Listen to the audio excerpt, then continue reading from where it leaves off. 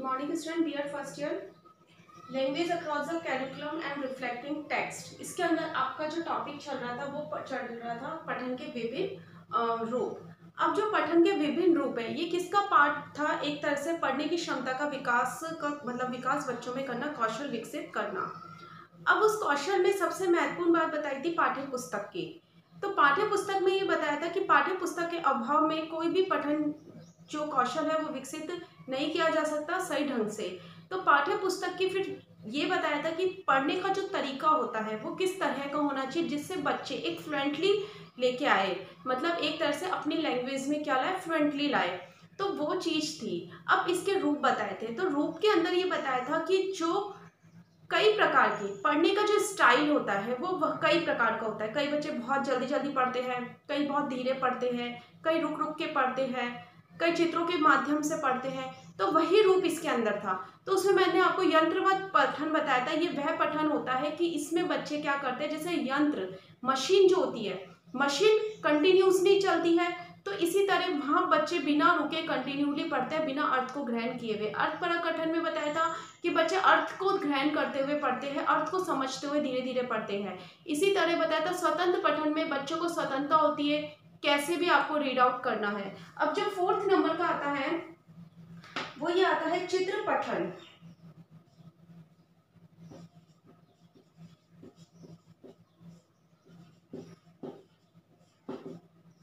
चित्र पठन। चित्र पठन में क्या होता है चित्रों को देखकर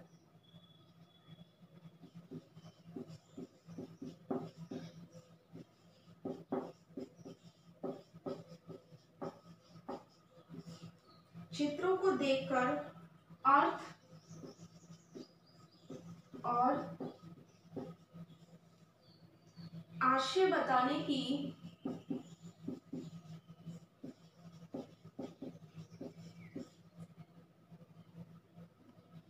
आशय बताने की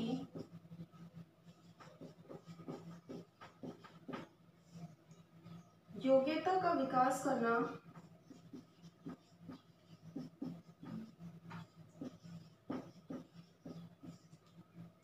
चित्र पठन कहलाता है।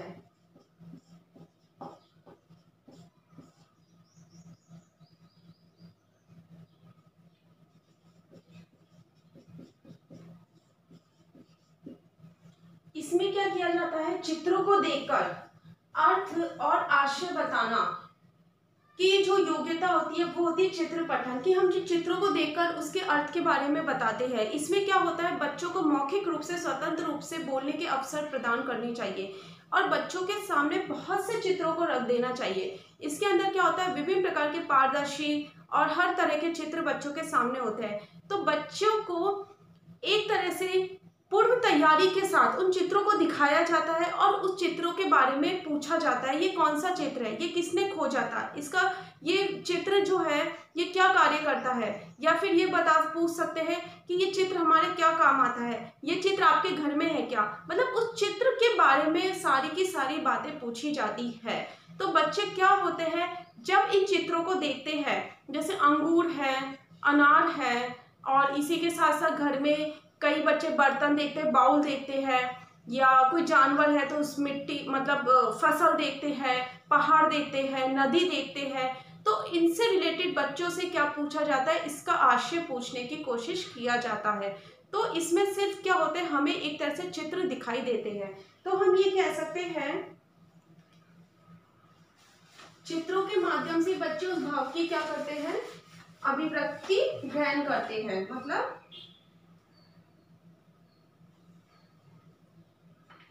पठन पठन में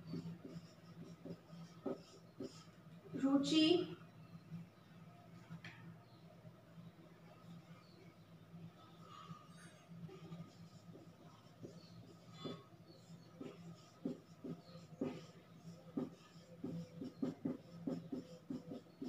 पठन में रुचि उत्पन्न करने के लिए पूर्व तैयारी के रूप में पूर्व तैयारी? पूर्व तैयारी के रूप में बालक को सर्वप्रथम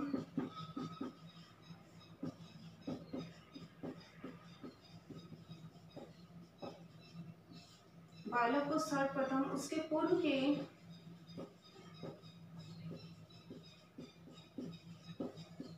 उसके पूर्व के परिचय दृश्य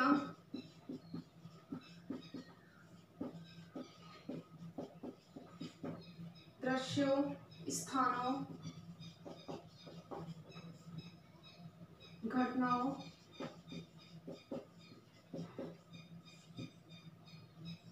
पशु पक्षियों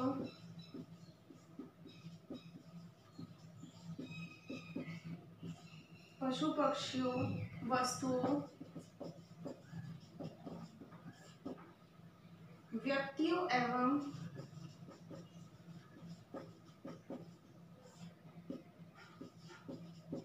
जीवों के चित्र, जीवों के चित्र दिखाकर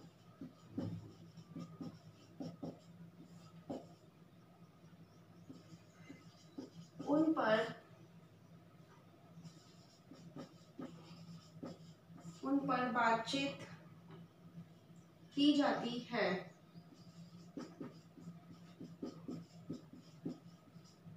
यही चित्र कहलाता है।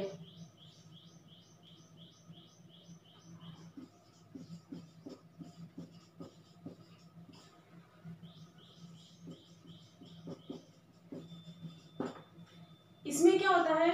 बच्चों को एक इंटरेस्ट जैसे कई बच्चे होते हैं बुक्स को नहीं पढ़ते हैं तो उन्हें इंटरेस्ट उस रुचि मतलब एक तरह से रुचि, पठन में रुचि जागृत करने के लिए एक तरह से पूर्व तैयारी के रूप में बालक को सर्वप्रथम उससे पूर्व के परिचित जिसे वो जानता हो, जैसे कोई दृश्य होता है, कोई स्थान है, कोई घटना है, पशु पक्षी है, वस्तु है, व्यक्ति है, जीव है, आदि के चित्र दिखाकर उन पर बातचीत की जाती है, क्यों, कब, कैसे, किसने खोजा, आदि निर्देश के माध्यम से उनसे उत्तरों की जाँच की जाती है, उत्तर निकलवाए जाते हैं तो वही क्या कहलाता है, चित्र पठन कहलाता है।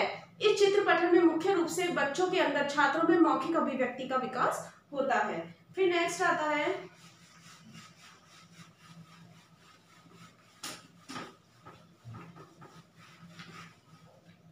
शब्द पठन।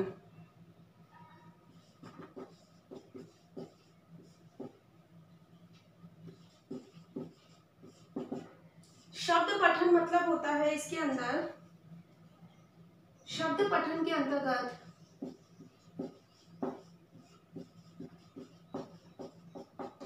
इसके अंतर्गत शब्द की पहचान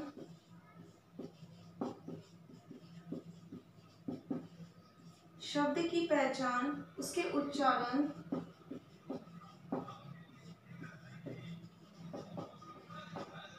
उसके उच्चारण तथा अर्थ को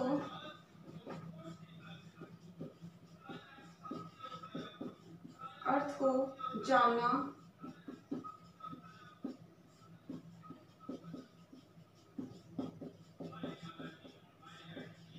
सम्मिलित है। ठीक है शब्द की पहचान, इसके अंदर शब्द की पहचान की जाती है, उसके उच्चारण किया जाता है और अर्थ को जानना सम्मिलित है।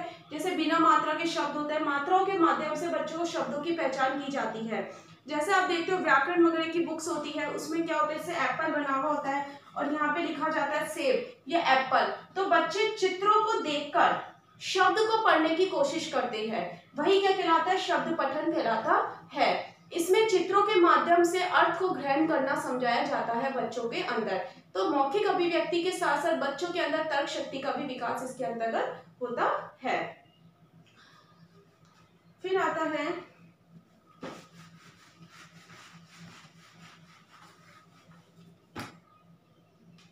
वर्ण पठन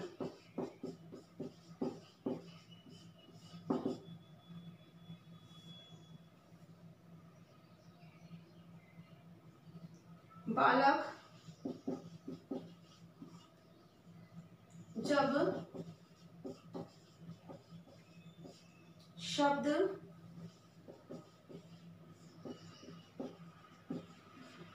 शब्द समूह या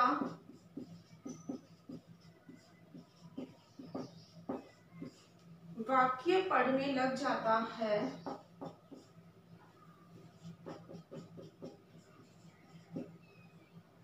तो धीरे धीरे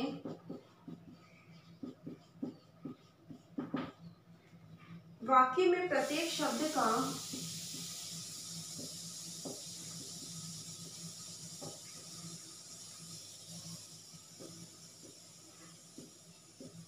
वाक्य में प्रत्येक शब्द का और शब्द में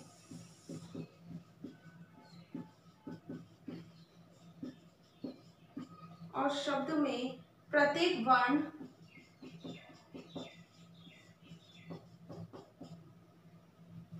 या मात्रा लिपि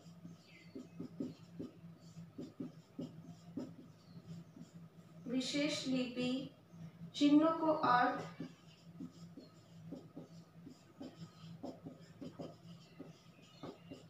अर्थ की दृष्टि से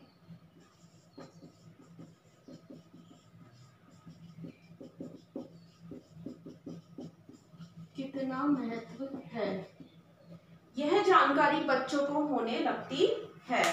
उसे यह अभिज्ञान होने लगता है कि शब्द में वाक्यों की रचना किस प्रकार की जाती है। मतलब बालक जब शब्द शब्द अल्टरनेट ये होता है कि जब बच्चे वर्णों की पहचान कर ली जाती है तो लास्ट में वो शब्द समूह वाक्य पढ़ने लग जाता है। तो धीरे धीरे वाक्य में प्रत्येक शब्द और शब्द में प्रत्येक वर्ण या मात्रा विशेष लिपि चिन्हों को अर्थ की दृष्टि से कितना महत्व है, ये जानने की कोशिश करने लगता है किसके माध्यम से, किसके अंतर्गत वर्ण पठन के, वर्ण पठन के अंदर उसे वाक्यांशों का या वाक्यों का निर्माण करना आ जाता है। यही क्या थे? पठन के विभिन्न रूप थे।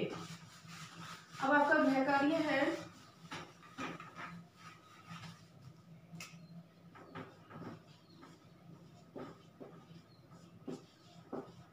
पठन के